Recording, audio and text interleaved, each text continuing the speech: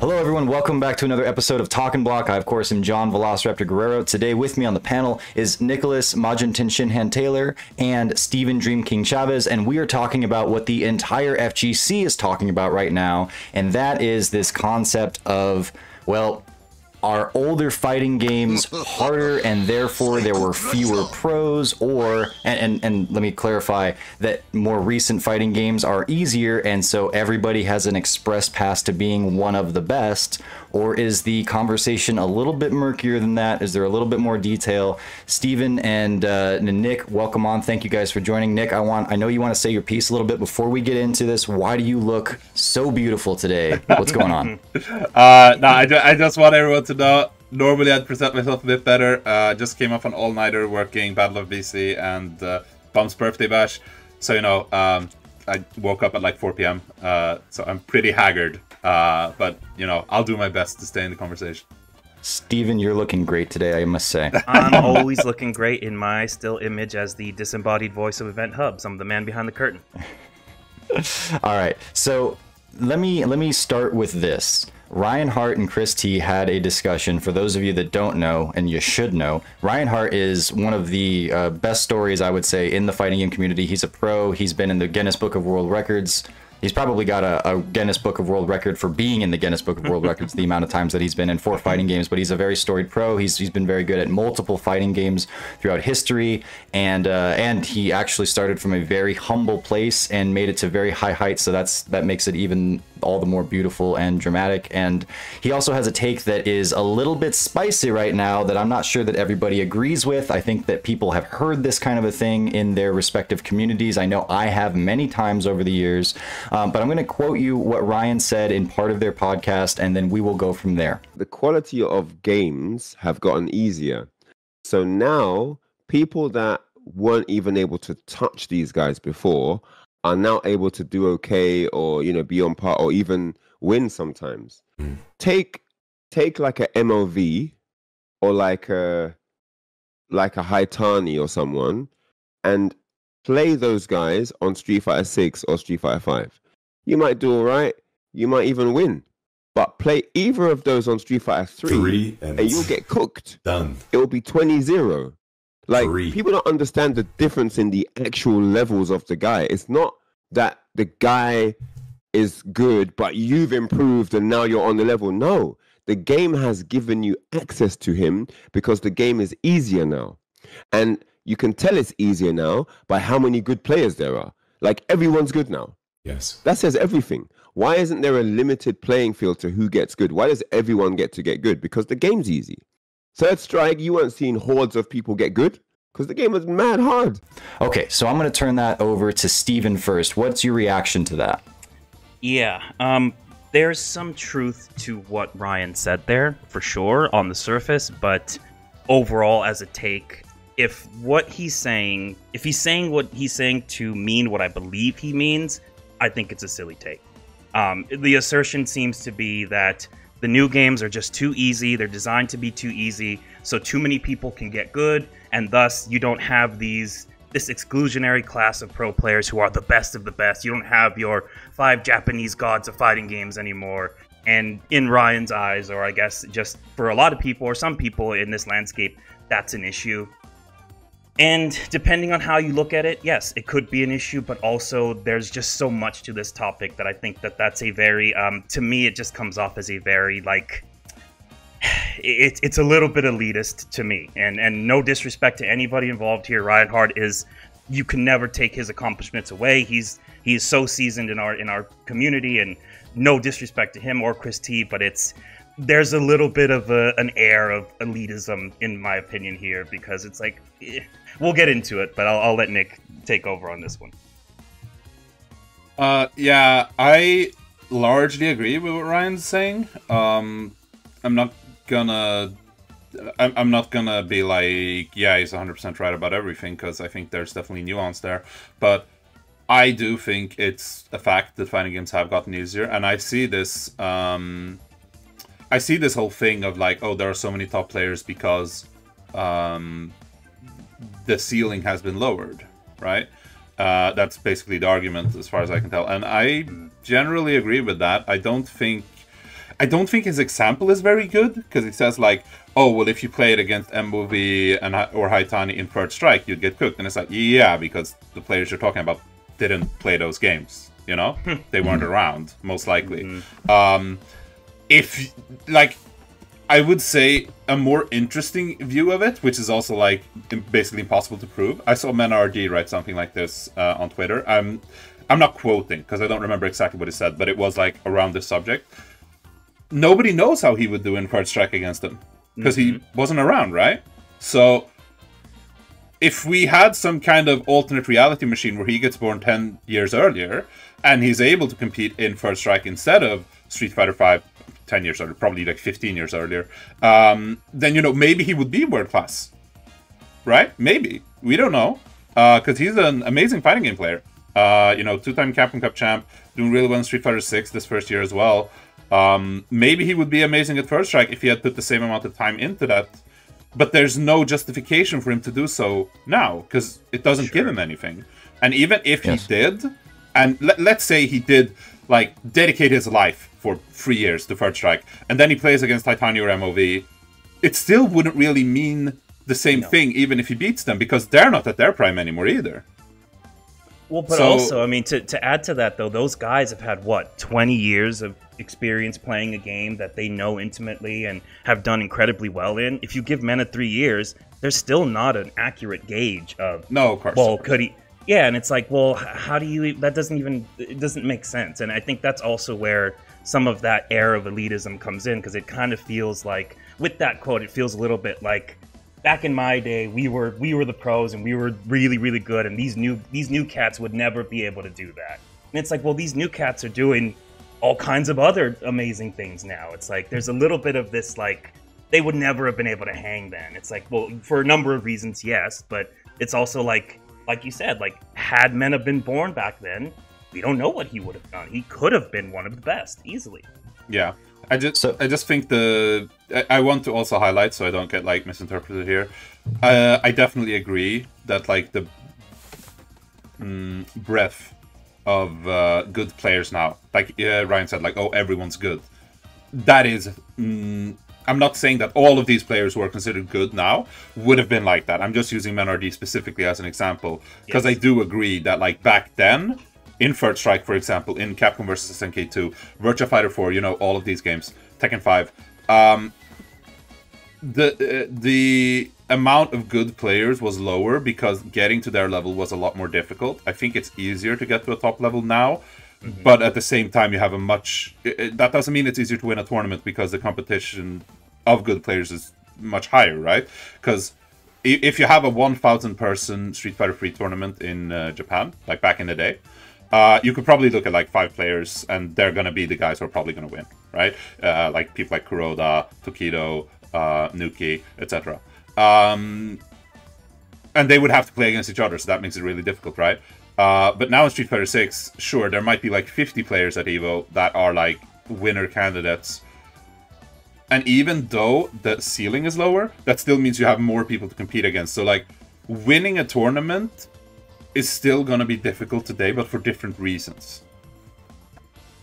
You know, so it sounds like what we're saying here is that the is the comparison that's kind of being made is a little bit of an so much so apples to oranges that yes there is this discernment but how can you necessarily know which difference is the key factor if not all of the differences? Because the the landscape was just so different. In back in the day it was arcades. You didn't have not only did you not have training mode you had to have a quarter and you had to get in line in order to practice anything. I remember i, I always go back to this even in street fighter 4 the early days when it was just still arcades el fuerte had a very difficult um, infinite combo. It had a bunch of one frame links and obviously it was repeated every time to do the combo. Uh, and and Killer Kai would talk about how he learned the El Fuerte Infinite, and he did that by the way in the old school way of arcades and just quarters. He wasn't sitting there, you know, resetting into the right part of the screen at the right time with the right amount of meter and everything like we have now. It was you put a quarter in, and you are either playing against another human being or at least an AI that might be cheating, by the way, because we all know how those old school AIs tended to be reading inputs and such. And so the amount of passion that was required for someone to reach these levels was much higher back in the day. Now, someone can still have that amount of passion, but now the amount of resources is so prevalent. You can use all of the benefits of these much fleshed out training modes that, by the way, exist in the first place. But you can also share tech. Like when something happens, oh my gosh, the entire FGC knows it now. You don't have to go and, you know, get a camcorder and record someone, you know, with VHS footage and then get that tape processed in order to watch tape back. Everybody's stuff is online. Uh, it, you can go and find replays and follow people. So the resources are immense. So you would end the the accessibility to these games elsewise is immense. You can play it on so many different platforms. You can play it from the comfort of your home. You can play online now with pretty much the same level of of uh, growth and understanding of the game. Like playing online is pretty close to the same thing as playing offline as long as the connection is strong and they've created the infrastructure for that to happen. So so now yes, it's a much more fertile ground. There's much more attention being put on these games and so the player base is much larger. And so many times in my own travels or in my I should say my own journey even um, and in different communities I've even seen this mentality of well, a new game comes around and the people who were good at the old game are not doing as well. One of the easy things to do do, and I, I myself have been tempted by this, and I've probably said things things private and public before that well, it's because the new game is too easy, so it's easy for everybody to be the same as me. If this were more restricted and you needed to be better, well, that's the old game, and that shows the true skill. Uh, uh, uh in I hear that in Third Strike, the better player always wins, or at least to a greater degree than in recent games. And I will say, in Street Fighter V, I, I felt like, and this was my second big game where I would have, be most tempted to say this, it did feel like if you were good at V triggering, you could be better than people that were good at footseeing. And and there, I think there is some substance to that argument. If a game is poorly made or it's imbalanced in how uh, in, in in the things that are strongest in that game, that yes, you can have a way that's it's easier for just anybody to get to the top. But I have to say, I, I don't think, personally, I don't think that um, a lot of what Ryan is saying here really maps over, or that at the very least, we can know that for sure because the landscape is so vastly different now. Well, that's that's the whole thing. Is that um, it feels like the assertion is that it was harder back in the day, and you had to be more passionate to get into this stuff, and there were less pros because it was so much harder to do well and somehow I guess that's better than modern day. Is it feels like what the assertion is here, kind of at its core, but it's weird because it's like saying you had to be more passionate to do that stuff back then is like silly to me because you have people who today are as passionate or more passionate and doing things like we did the um the we shared the video from Tokido where he talks about taking notes and Nick here translated that for us. Thank you, man. But um Tokido has like pages and pages of notes and all these things about every different matchup. He has all these kinds of like, I need to be here in this spot. I have this combo for this matchup and all these different things. Now, are you going to tell me that all of the work he's put into that is less passionate than you having to go to an arcade and be in the scene? Like, it just, it's not the same thing, but it doesn't mean one is more than the other. You can still be just as passionate it's just in a different way and it's for to, to do different things because the landscape's different now so to to kind of try to look back and go oh well back in the day we used to do it like this and it was so much harder and it's like yes technically the games were harder to get into but we've also wanted growth in the community for years. Like these same pros back in the day were always talking about how the FGC isn't big enough and the prize pools aren't big enough and we can't grow and fighting games are too hard to get into and it stagnates our growth. Now we've got growth. Now we've got more accessible fighting games. We've got bigger prize pools. Now we can't win, and oh well, now it's a problem. And it's like that's that shouldn't be. We should be encouraging people to get into fighting games more. And it's a new landscape. You learn the matchup. You adapt. That's what we do. Not sure that these are the same people though. Like the people who said that you know, oh, uh, we're limiting the FGC or, you know, we need more growth in the FGC. I'm not sure those are the same people who are saying this stuff now. Sure, but I feel like generally speaking, over the years, and especially with competition and stuff, we've we've looked at other communities as a whole and gone, "Hey, man, they're getting more than what we're getting. Mm. Their prize pools are bigger, their exposure's bigger." There's always been that, "Hey, we want to grow and become more of a thing so that we can get more out of what we're doing."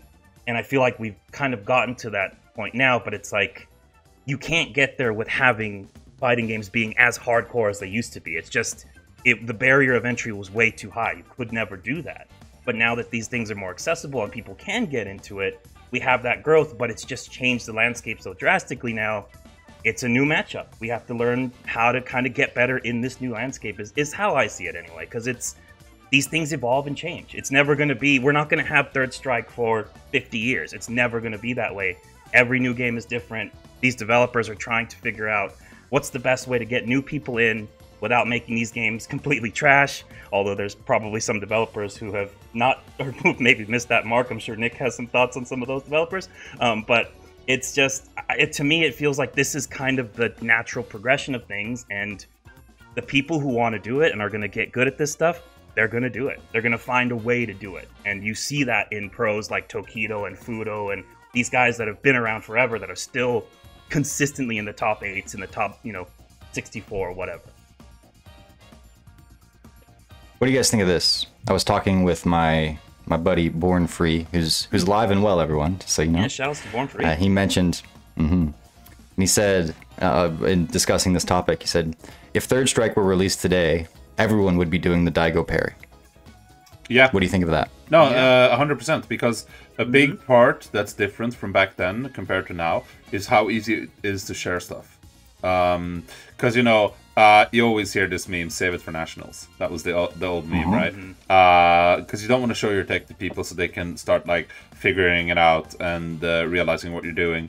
Um, hiding tech now is a lot more difficult, and especially with how much stuff people share, because maybe your piece of tech requires three different components and there are already people online that have shown all three of these components. You're the only one who pieced it together maybe right? But you sitting on that is still opening the door for other people to find it and share it because those components are out there. That did, wasn't necessarily the case back in the day because i have a friend uh, who was really good at third strike here in sweden. Um, people who are tuned in to the Europe scene, at, at least might know him. Um, his name is, or like his gamer name is uh, Cyrox. And, uh, you know, he's been really good in First Strike, he's been really good in Tekken. And he told me about, like, when he came up and, like, started really playing, I think that was around 2006, 2007, finding videos was not a thing. So, at some point, someone had posted, like, recordings from SBO and stuff, and he would download that, and, you know, it's like 128k um, k you know you know it's like it's like really bad quality. And he would like sit and just look through all this footage and try to find what is this guy doing that i'm not doing and try to figure it out. But this was like once a year that he might get something like that. Like now you go online you check the replays of your favorite players you go to youtube you go to twitter uh, x whatever. Um, you go to EventHubs and see the stuff that we post you know. There's Thank you. infinite there's infinite resources out there. Uh, and even if you're not looking at the public stuff there are character discords. Uh, you know when i was playing Granblue Fantasy Versus a lot i went to do the Metera discord.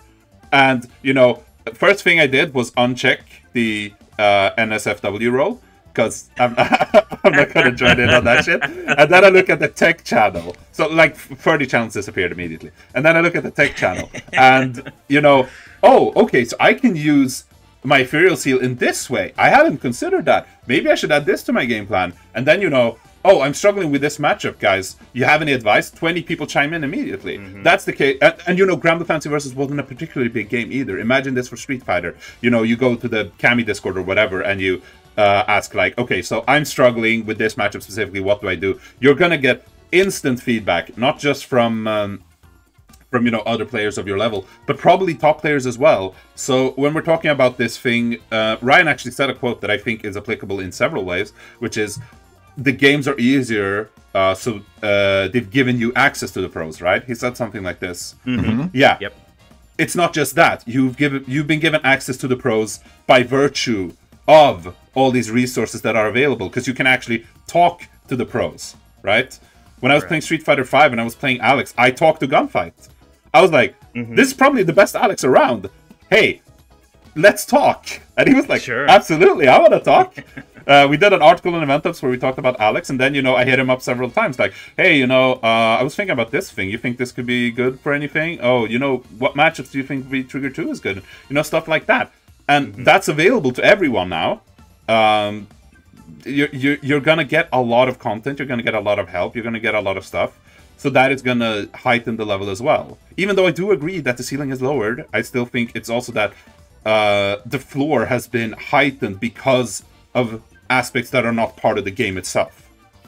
Well, and and Let me really, push back. Yeah, Oh, I, go ahead. I, ju- I had a question on that note because that's a great point, and I, and I wanted to just ask both of you guys like what you think of this because um, it's Ryan's assertion was that it was harder to get good back then because the games were harder by design, which is true, right? So modern games are definitely easier by design, so more people are able to get good at them. But isn't there an argument to be made that because of the resources and because everybody can get good and because of the connectivity, that it's a lot harder to be good, like consistently now, than it was back then? Because there's just so much at your fingertips now. Again, it's a lot of it feels like it comes down to who's going to work the hardest and put in the most time and study the most because there's so much out there. Is there an argument to be made that it might actually be harder to win and be really good now than it was back then? Yeah, I, I think that this is something that popped up again. I, I try to go to the Street Fighter V V Trigger place because that's my most sensitive place to this, where I want to naturally, I'm inclined to agree because I'm frustrated because that was for me when I wasn't doing as well as I used to, and it's easy to jump onto well, it's because of something else other than my skill or how hard I'm working. But when I look at that and I go, uh, uh, well, if the answer is that it's just it's just these V triggers that's doing all the work. Yeah, but there are places around that that continue like if if you know that Akuma when he's at sweep range or at fireball range which is everywhere, I guess, right? and, and activating V trigger from that is so strong, but you know it, then maybe the onus is on you not to necessarily play footsies well, but to be at a certain part of the screen. Catalyst talked about Street Fighter V as being a game that was much closer to Marvel vs. Capcom because it was more about where you were positioned on the screen because you had to deal with V triggers or crazy dashes that were hard to react to. And and that's where the game that's where the, the competition was was at in a way that maybe it wasn't so much emphasized in previous games. And maybe the conversation is more along the lines of, well, with Drive Rush now, you need to be specifically putting what's the best thing in this game under the microscope and going, how do I thwart specifically that and get real detailed? Know that, okay, against Ken, I need to be this far back in order to be able to react to the majority of things that he's going to do. And if I'm not there, this is the situation that I'm facing, and I have to be ready in this other way. And you have to really understand it on such a minute level where in the old games, maybe it was closer to something like, I just need to really focus on and it and, and this other things aren't aren't as important.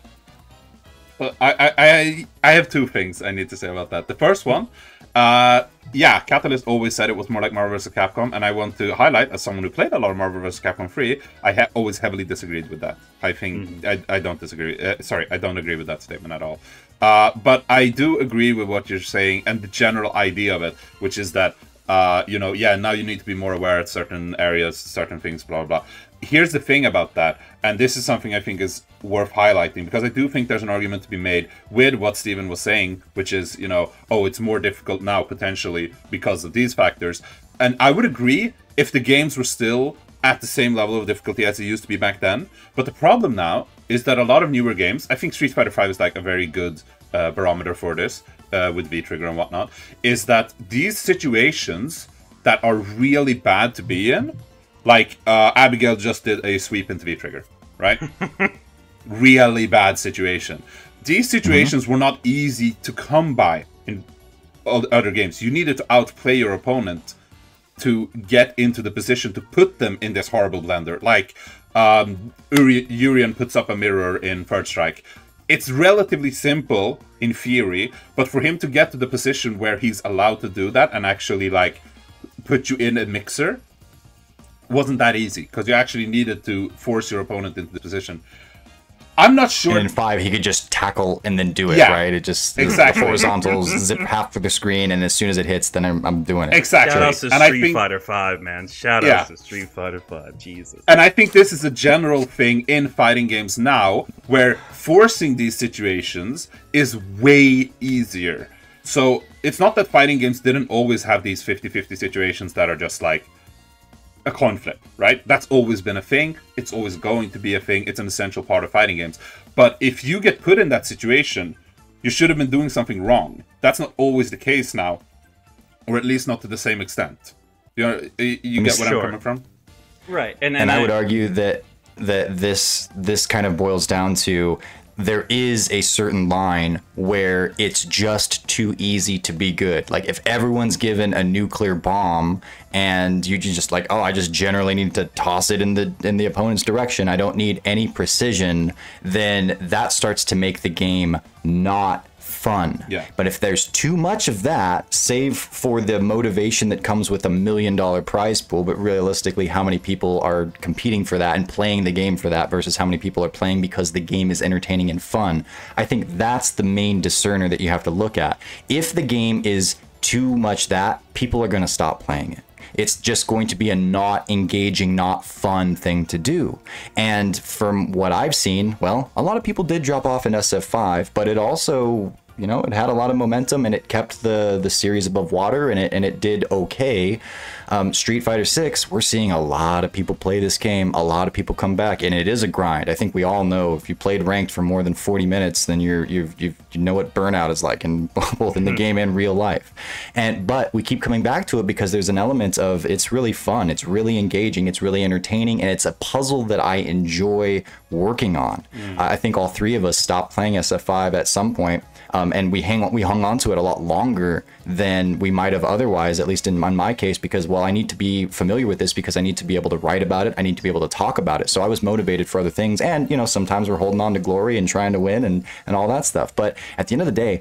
I would turn on a game like Street Fighter 4 and I can appreciate how fun Street Fighter 3 is, even though I'm no expert at it. I just play the basics. I can see the fun in it and the fun in Street Fighter 2 for that matter, even though that game is incredibly broken. Because there's something about those games that is, for, for all of how easy or hard they are, that's engaging that's enticing that you want you can't wait to hit rematch and get back into that thing because you want to run the experiment again. You want to try to beat the thing. And there's I, I i won't presume to understand it completely and be able to articulate it but i think that it's something along the lines of i can see what i need to do and it feels within grasp enough to do it that i am motivated to continue to try. Or i just did it and that was fun as hell and i'm going to do it again to this guy over and over again. Because winning is fun sure but like i would say if it's too easy the, it's a diminishing reward. And it's like yeah okay cool. I've, I've done it a handful of times or eh, i'm, I'm, I'm going to go outside and do something else at this point. I'm going to play a different game at some point because it's just not rewarding. And then of course the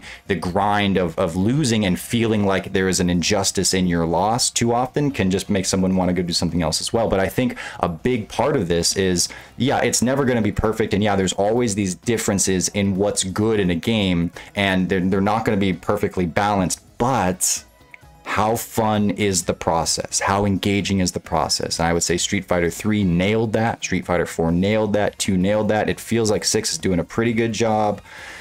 Uh, Street Fighter 5 was there. Uh, but what do you guys think of that?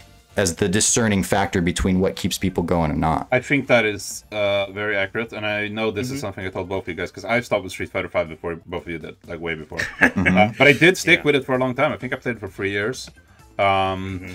And the thing about Street Fighter Five that I kept saying was that um, it feels really bad a lot of times when you lose, mm-hmm. but it doesn't mm-hmm. feel much better winning. Because Yep. I either feel that I got robbed or I feel like I robbed. That's how I felt the mo- Yes. most of the time when I played that game. a game. lot of cheap. people felt that way and it alienated a lot of people for that was one of the reasons people just or didn't want to engage with that game for sure So, so, so you could play on that intricate level of okay, it's just a matter of not being this close to Colleen when V Trigger Two is stocked up. It's not being in the situation. It's saving your meter to be able to deal with it. But mm-hmm.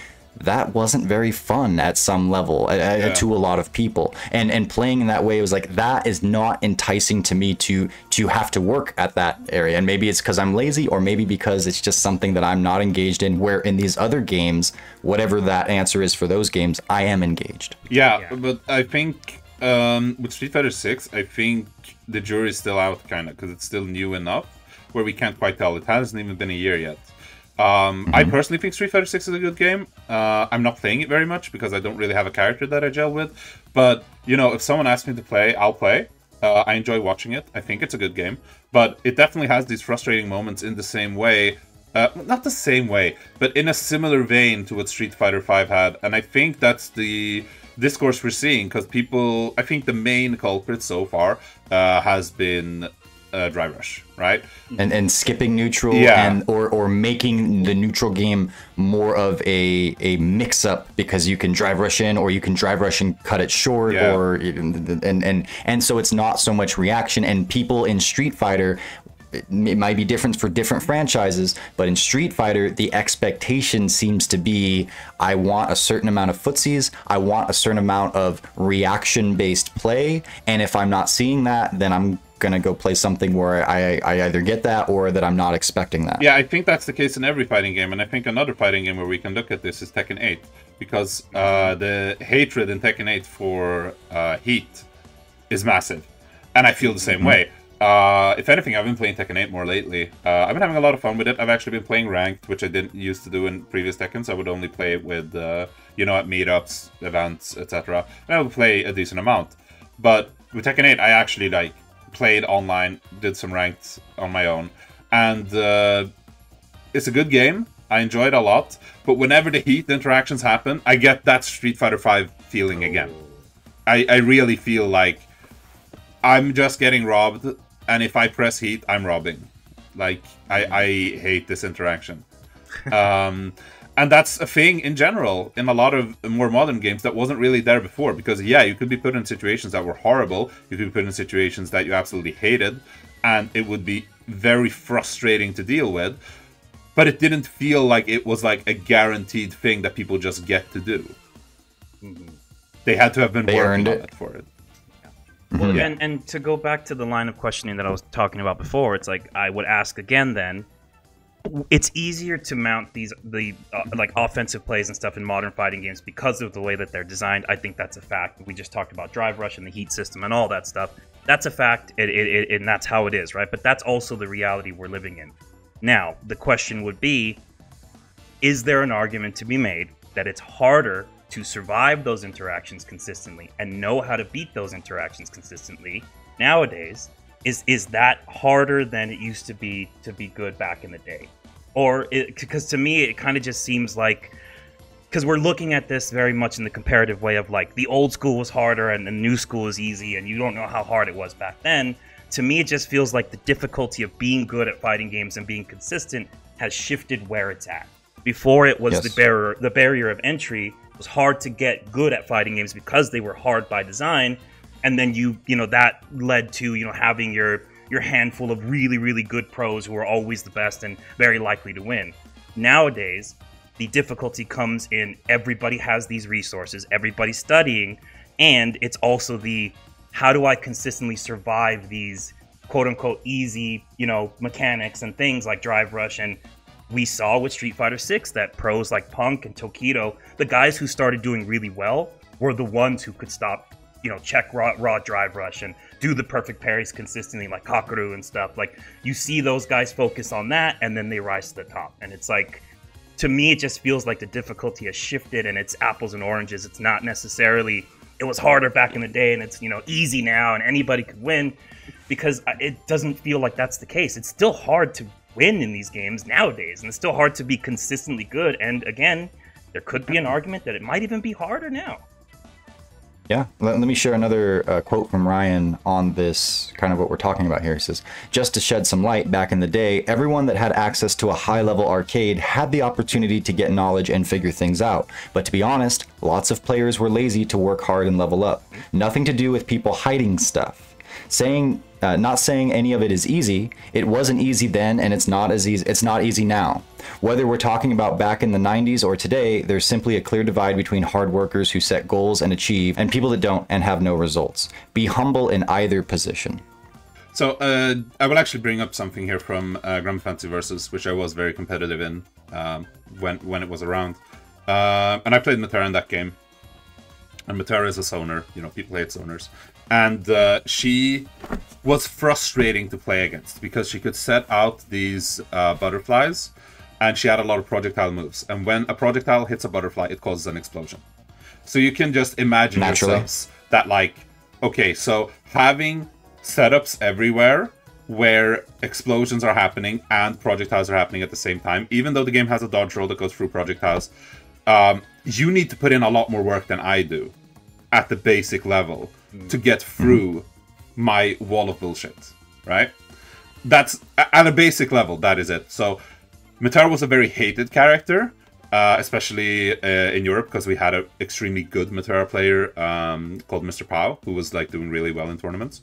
Uh, so Metera was very despised. Um, and even though, like, when you looked at actual tier lists and stuff, she was usually not very good. She was always in the lower half, basically. But not always, but for the latter part of the game's lifespan, which is basically what I'm talking about. But she was a very hated character because it was very frustrating to deal with this thing. So, once you took the time to study the Metera matchup and learn how to go through this thing, her basic game plan, it became very difficult to play Metera all of a sudden. Then it shifted. Now, it's very frustrating for me and the work that you're putting in once you've gotten past this initial hurdle that you had to that you had to work through, right? Um, now I'm the one who has to put in a lot more work to actually put you on notice, and that's an interesting like interplay as far as like high to mid, uh, low to high, low to mid to high level goes, because I would beat any low level player basically, majority of the time. I would beat the majority of mid level players basically all the time. Then I had to play high level players, and it was very, very, very difficult.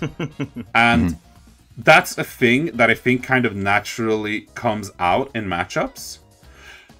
And now, because of this frustrating aspect, um, I don't know what they did with Granblue Fantasy versus Rising because I'm not interested in that game, so I'm not talking about that specifically. I'm just talking about the trend of fighting games as such.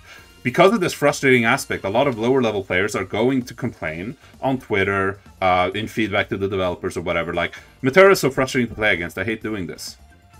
And then they'll be like, oh, okay, so let's adjust this stuff in a way where this frustrating aspect isn't there. But what they're actually doing by doing that, by introducing stuff that you were talking about, like Drive Rush, or, you know, V trigger cancels, Heat, you're not necessarily bridging the gap, you're just making the frustration shift constantly. Hmm. Because and then I think that's why it's important to to consider. Like I don't I don't disagree. I think that that's there's a certain element of that, and you. It might be that looking at these older games, looking at Third Strike, there was a certain element of that too in some of the abilities that you know Yun or Chun Li Sure. had, for example. Yeah. And uh, but the the main question becomes then: Is it an engaging puzzle to solve? And that's where it all comes down to because you're never going to have a fully balanced Of game. You know, I mean, we could start to argue like, well, we just have to have a game where every character is the exact same so we can find out who's the most truly skilled. It's like there's a certain amount of fighting games that's not about who is the most truly skilled in in like what they can do in the game because it's I mean outside I guess of the mirror match and actually mirror matches are not 5-5.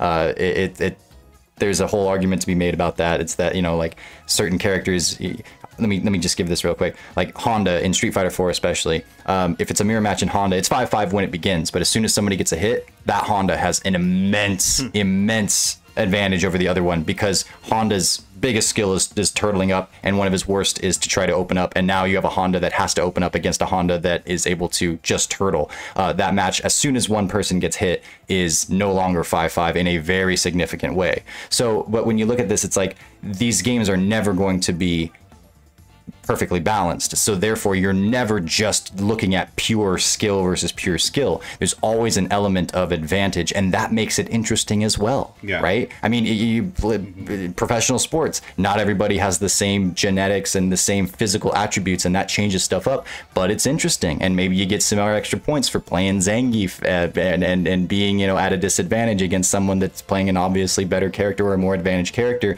But that plays into the drama and the excitement of it. And again, it all comes back to is it an entertaining puzzle to solve I think or a demoralizing puzzle to try to solve? Yeah, and I think that's the thing because you talked about the Honda matchup uh, specifically in Street Fighter 4, right? Um, and the thing, I totally agree uh, about what you said about that. But the thing is, presumably, the Honda who got that initial hit also earned it. Sure. So that's where the Yeah. level of, of analysis of, of and, but that it, it ended there. And now it's okay, now I get to enjoy the fruits of my labor and that's kind of unfair. Sure. Now I have a V trigger. But this is also a thing about fighting games in general is that if you're in a position where you feel like, okay, but this matchup is way too unfair for me, uh, you, you are gonna on- once you put in enough time, you're gonna have a view of what's good and bad for you and what's meta and what doesn't work. Like you were talking about, like maining Zangief. Of course, you're gonna have some matchups that are really difficult regardless of the game. Um, so what are you gonna do? Are you gonna put in the work to try and overcome this matchup? Are you gonna pick a um, sub character to deal with them? Are you gonna just hope you don't run into these characters in bracket? Because that can be a thing. Uh, like Street Fighter 4, for example. Uh, Dhalsim was pretty rough for Zangief, but Dhalsim wasn't a common character are you gonna are you gonna just like sit there and work yourself up about a Dhalsim that might never show up? But then it's a different story if it's like, um, what's a good example here? Yeah, so let's say uh, in Street Fighter Six, uh, you have a losing matchup against Luke. You need to work yourself up about that because Luke is everywhere. You're never gonna not run into Luke in a tournament. That's just not going to happen. So then you have to make that decision. So there's a lot of interplay that goes into that, but that is part of the fun because it's part of the planning and you know what you're working with. But then when you get to a point where, oh, but now they can force an advantage on me that's not really necessarily a matchup thing, but it's more of a, oh, the game just gave them this resource and it completely oppresses my character. And then it's not what what is my counterplay to that if like uh, if we're using Street Fighter 6 as an example, um, Luke crouching medium punch. Like it's pretty crazy in most matchups, right? Um, And good moves have always existed, right? But if you look at that from an older game perspective, his crouching medium punch would be an extremely good space controller, and it would be like everything good about it is still there, but it wouldn't give you seventy percent, which it kind of can do now, if you have enough drive gauge and everything. So mm. it's like outside of the actual character matchup at that point because it's more of the system mechanics giving you free stuff and it's not a street fighter 5 problem it's not a street fighter 6 problem it's a general problem across the majority of fighting games now. And as you were saying is that a fun puzzle to solve? For a lot of people not really. And is your ability at solving this specific type of puzzle what makes you a good or bad player? If you look at a lot of older players they were really good at playing fighting games in general, and they still are, but they get some of them get encumbered by this kind of stuff that's just like not e- you don't even need much practice to do it. It's not something that's difficult. It's something that the game kind of just gives you, right? You see what I mean? Yeah, I, I understand that and I agree. And I think the but I think the interesting thing about this is that the core of what you're talking about, the core of where the frustration lies, you could apply that to old fighting games. And we saw that applied in the barrier is so high. As Ryan Hart was saying, if you play MOV in Third Strike, he's gonna 20 0 you. Is that fun? Is that gonna encourage you to want to play more? Or if you're a newcomer and you go into the arcade, you play Third Strike, you get completely smoked, is that going to turn you off from fighting games? It did. It did turn people off of fighting games back then. So again, it's to me, the more that we discuss this, it kind of feels like maybe it's not more or less for one or the other. Maybe it's just the frustration and where the difficulty lies has shifted. Because again, back then that was the trouble. Third Strike, um, like we had the dark ages of fighting games because of Third Strike, and all these like now it's it's heavily revered as like one of the best fighting games ever. Back then it wasn't. It was too hard to get into. It alienated a lot of people. People played it. They went, "This isn't fun. This isn't a thing fun puzzle to solve. I'm not playing this anymore. I'm not going to deal with fighting games anymore. It's too much, right?" you go you look nowadays and you go okay well drive rush is too ridiculous people have the ability to force these things too easily this isn't fun i don't want to play you have it on both ends. I don't think it's fair to say like well we didn't have that back then and now we have it and it's a problem. Because again if to me it just kind of reads as the difficulty and the frustration of fighting games has shifted. Where it's at has shifted and we're in a new landscape now. This is a new this is a new thing that we're dealing with now. It's a very different things have evolved in a very different way. We have new challenges, and that's The key difference in this is the example that you're bringing up is that you're playing against MOV in Third Strike, who's one of the best players in the world, and he basically always was in first Strike. Sure. So if you go and You you, could lose, even reduce it down, yeah, but if you go and you lose 20-0 to MOV, and that discourages you from playing Third Strike, then you were never going to be good in the first place. Because if you go to one of the best players, you lose, and you're just like, oh, okay, then I don't want to play anymore. Then you you never had any passion for it to begin with. Whereas now, Well, sure, but you could reduce it down, Sure. right? I mean, you could there are a reduce it certain down number to like of players basic. that would be turned off, but there are a certain number that that then wouldn't be. Yeah. But like that's and just you could say the same for now. No, but the thing, the thing about now is that I don't need to play against the best person in the world to be frustrated by eating 70% from a crouching medium punch, because that's going to happen in silver.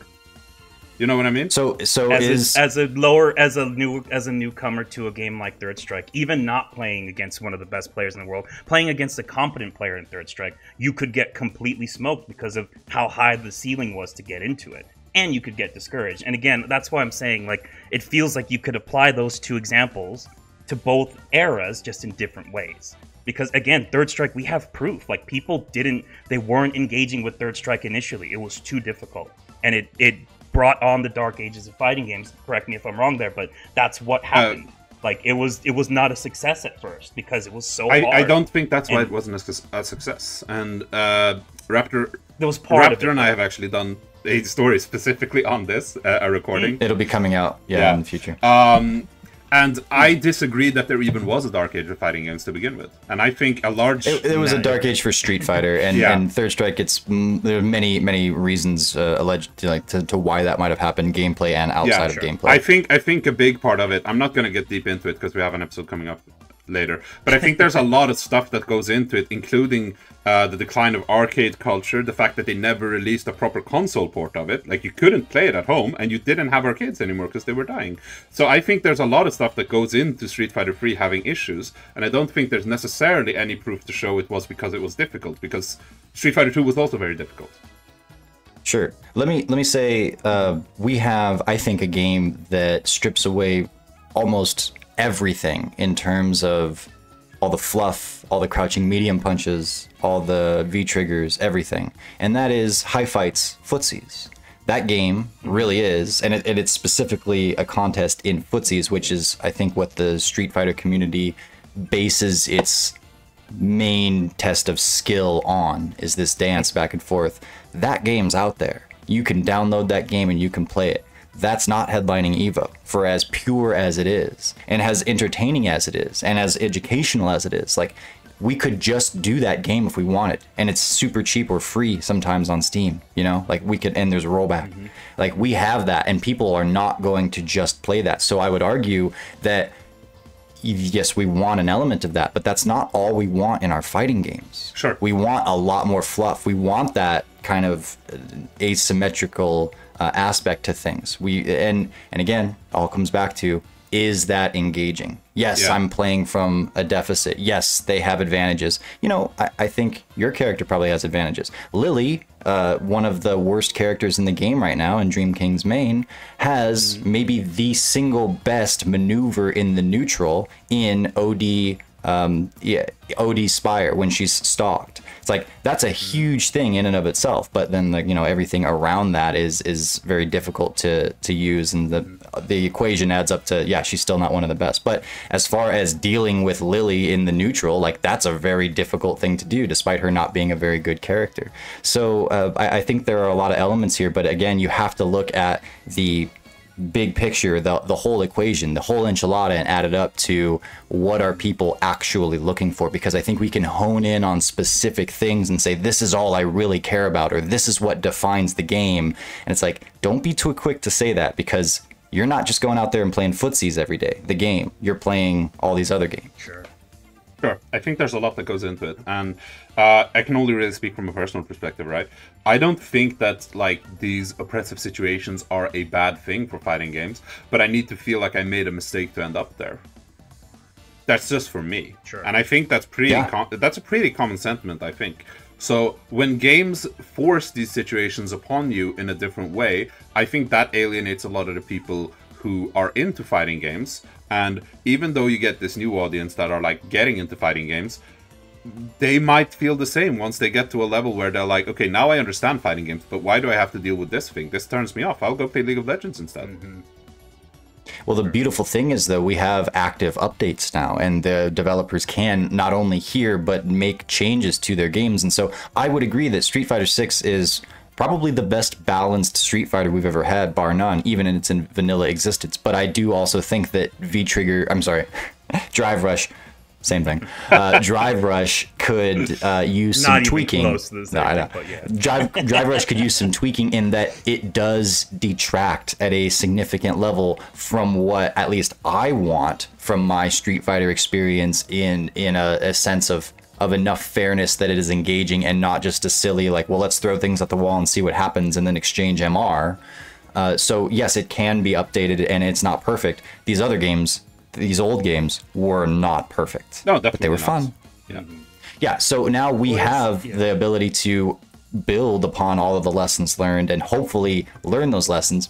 And if the developers mess up too much, they will completely lose their their audience and the game won't be played and then it'll be returned or whatever and then, you know, things will be a, a it will enter a dark age maybe or the game won't be successful. But I I do I am thankful that we have all this information to build upon and I think that Street Fighter 6 at least I haven't played enough Tekken 8 to, to comment on it and I'm certain that MK1 did not do this well but uh, that Street Fighter 6 at least is a fairly well done game that it has its blemishes but that we can work on it and that we are working on it. And I, I suspect we will see some tweaks to these main things and get it closer to that back and forth that satisfies yes it's it satisfies the, the crowd that needs that wants to get in with a little bit more ease that wants to be entertained with a little bit more ease but then also those that are reliant on high level play to to get their uh, their their enjoyment out of the game and out of the experience as well. I think Tekken 8 is very much the same. Uh, it needs tweaks. It's gonna get tweaks. I think it'll be fine. Outside of Heat, I think it's a very good game. It has some issues, but you know, uh, as I said, we're in a patch culture now. I don't think it will be a problem. Um, so I think Tekken 8 will also be doing really well uh, moving forward. Uh, overall, I think the FGC is in a pretty good spot. I just I, I feel like developers are walking a tightrope where they keep putting these things into the game, and I think in a lot of cases they don't really need to be there. I, I personally don't think Heat really needs to be in Tekken 8. Um, but there's still so much good around it that makes it worthwhile anyway. You like begrudgingly accept it. But wouldn't it have been nice if we didn't have to begrudgingly accept anything? Yeah, well, go live in that reality it- that doesn't exist. yeah, uh, it, it would, but it, again, it's like you you look at that stuff and you go, for us, for seasoned fighting game players, yes, there are things that's like, oh, if we to- if we tone that down, it would be amazing and it'd be ideal. But again, the developers aren't balancing just for us. Of They're course. not balancing just for um, you know the pro players and the tournament winners. They're they're balancing and developing these games for everybody. And and again, if we want growth with these games and the, this community, we're gonna have to deal with some of that stuff. I think that's just gonna be our reality. If the last few game, you know, few games or a couple games were any indicator, that's kind of the reality. I think, and we, whole, I think. Look, from Street Fighter Five to Street Fighter Six, it, it definitely looks like Capcom is understanding like how to better do this stuff at least because Street Fighter Five had so many egregious examples of just throw it out there, just do it. Unga, your plus on block and V trigger mix ups and all that, and robbery and all that stuff. I feel like Street Fighter 6 has similar elements, but if we're being real, it does feel like, and this is at least this is what I found personally. I, I don't know if you guys have, I believe you have, but when you dig into Street Fighter 6 and you try to really figure out counters for things, you have answers. They're Mhm. there. There are actual legitimate options and counters. The, uh, the the only option isn't just don't be there on Yeah. Anymore. Like you actually have legitimate ways to get out of this stuff. So maybe it, it's maybe this is an indication that Capcom's kind of moving towards like we're gonna still do these these kinds of things, these easy mechanics, these flashy things, but we're learning better how to kind of manage them so they don't feel so oppressive. Again, some people still feel heavily oppressed by Street Fighter 6's mechanics, but I think there's a marked difference between how Street Fighter 5 was and Street Fighter 6 was on the front of the mechanics and the oppressiveness. So maybe we do get a few, you know, games down the road and then Capcom figures out that perfect, you know, or these fighting game developers figure out that perfect balance there. But again, it's you're trying to please so many different people and audiences at once and there's so many factors. we're never going to have the perfect fighting game. It doesn't exist. And the most balanced fighting game in the world is going to be boring as hell, and nobody's going to play it. That's it's, It's, just not. It's not really about balance though. Like ba- balance isn't really the thing. About Sure. fun Yeah. and engagement. Uh, anyway, I, I, what I do want to say regarding that is I agree 100% that I think Street Fighter 6 is a massive step up in that specific area, or actually in a lot of areas except music. Um, but uh, yeah. w- w- what I will mention though is I have a lot of friends who are casually into fighting games, but are like mm, interested in doing more. And I mean, a lot of my friend group, like both online and offline, are relatively interested in fighting games. And in my experience, and I know this is anecdotal, but in my experience, these mechanics that you talk about, like, oh, you know, we begrudgingly accept them because they're needed for new players, they hate them. They absolutely hmm. despise them. And they're the new players that we're trying to get into the game. So I don't think they're helping at all. I think what's helping is, you know, better marketing and stuff like that. I think these kinds of things that are like super oppressive, uh, that just like bridge the gap in a it feels unfair way. I don't think they're helping at all because I don't know any new players who enjoy that. I agree. I think that also comes back to the to the whole.